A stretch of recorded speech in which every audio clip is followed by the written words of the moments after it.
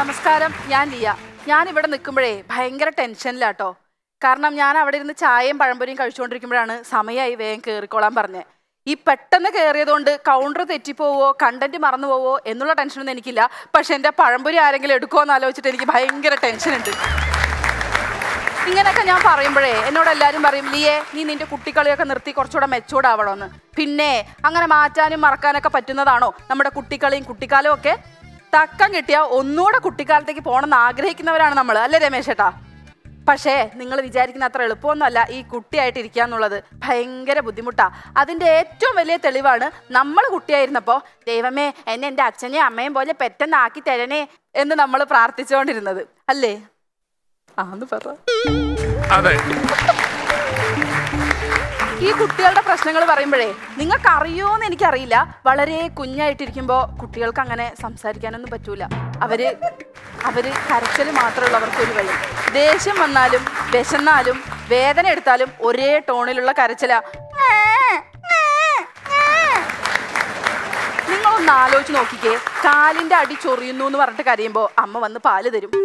ഉറുമ്പ് കടിച്ച് വേദനിച്ചിട്ട് കരയുമ്പോ അമ്മ പാട്ടുപാടി ഉറക്കും. ഇനിയിപ്പോ തണുത്ത് വിറച്ചിട്ടാണ് കരയുന്നെങ്കിൽ എന്റെ ചക്കുടൂന് കുളിക്കണോടാ എന്ന് പറഞ്ഞാൽ ആ പച്ച വെള്ളത്തിൽ മുക്കി അങ്ങ് എടുക്കും. എന്തൊരു കഷ്ടമാണല്ലേ? ഈ കുട്ടിക്കാലത്തെ കുറിച്ച് പറയുമ്പോഴേ മണ്ണിരിയെ നൂഡിൽസ് ആക്കിയതും മിന്നാമിന്നിയെ ചെളി തലകുത്തി നിർത്തിയിട്ട് ഞങ്ങളുടെ വീട്ടിലെ സീരിയൽ സെറ്റാന്ന് പറഞ്ഞതുമായിട്ട് ഇഷ്ടംപോലെ കഥകളുണ്ടാവും എനിക്കും ഉണ്ട് ജീവികളുമായിട്ട് ഒരു ബന്ധം. കാരണം പണ്ട് നാട്ടിലെ ഒരൊറ്റ കോഴിയെ പോലും മനസമാധാനമായിട്ട് മുട്ടയിടാൻ ഞാൻ സമ്മതിച്ചിട്ടില്ല.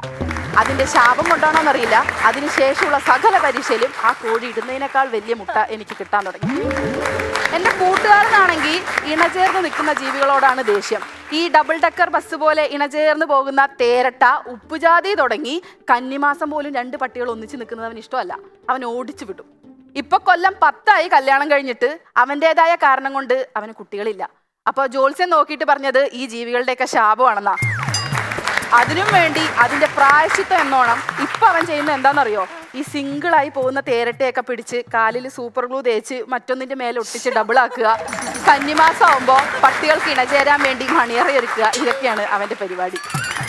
പണ്ടൊക്കെ ഞാൻ ശ്രദ്ധിച്ചിട്ടുണ്ട് എന്റെ കുട്ടിക്കാലത്തൊക്കെ ഓരോ വീട്ടിലും അത്യാവശ്യത്തിന് ദാരിദ്ര്യമുണ്ട് എന്ന ഒരു അംഗൻവാടി തുടങ്ങാനുള്ള പിള്ളേരും ഉണ്ട് ഈ കുട്ടികളുള്ളത് കൊണ്ടാണോ ദാരിദ്ര്യം? അതോ ദാരിദ്ര്യം ഉള്ളത് കൊണ്ടാണോ കുട്ടികൾ എന്ന് എനിക്കിതുവരെ മനസ്സിലായിട്ടില്ല. കാശ് ഉണ്ടാക്കാൻ പഠിക്കാത്ത ഇവർ അറ്റ്ലീസ്റ്റ് മനസ്സിനൊരു കടിഞ്ഞാണിടാനെങ്കിലും പഠിക്കണമായിരുന്നു. പണ്ടൊക്കെ പത്തും പന്ത്രണ്ടും മക്കളുള്ളിടത്തെ ആദ്യത്തെ കുട്ടിക്ക് ഇട്ട പേര് തന്നെ ചിലപ്പോൾ മാറി മറന്നു പോയിട്ട് അഞ്ചാമത്തെ ആറാമത്തെ കുട്ടിക്ക് കിട്ടുമെന്ന് വരും. അതുപോലും ഒരു പ്രശ്നമല്ല. എന്നാൽ ഇന്ന് ആകെയുള്ള ഒരു കൊച്ചിന് അച്ഛന്റെയും അമ്മയുടെയും പേരിന്റെ തുടക്കം വെച്ച് പേരിടണോ എന്നുള്ളതാണ് പ്രശ്നം.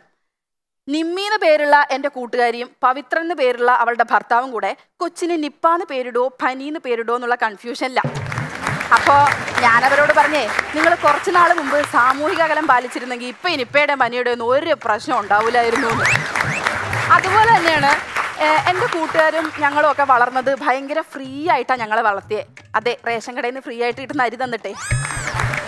എന്റെ അമ്മയുടെ സൂപ്പർ മാർക്കറ്റും ലുലുമാളും ഒക്കെ ആയിരുന്നു റേഷൻ കടയും മാവേലി സ്റ്റോറും ഞാൻ അവിടെ നിൽക്കാത്ത ക്യൂ ഇല്ല കാണാത്ത ആൾക്കാരില്ല. സത്യം പറഞ്ഞാൽ ഇപ്പോഴത്തെ സെലിബ്രിറ്റീസ് ഒക്കെ ഗോൾഡൻ വിസയ്ക്ക് അപ്ലൈ ചെയ്തിട്ട് അത് കിട്ടുന്ന സന്തോഷമാണ്. എന്റെ അമ്മയ്ക്ക് റേഷൻ കാർഡിന് അപ്ലൈ ചെയ്തിട്ട് ബി പി എൽ കാർഡ് കിട്ടുമ്പോൾ എന്തിന്? ഷീറ്റ് ഇട്ട വീടിന് ബി പി എൽ കാർഡും കൂടെ അഞ്ച് കിലോ അരി എക്സ്ട്രായും ഉണ്ടെന്ന് പറഞ്ഞിട്ട് ഞങ്ങളുടെ വാർപ്പ് വീട് പൊളിച്ച് ഷീറ്റ് ഇട്ട ആളാണ് എന്റെ അമ്മ.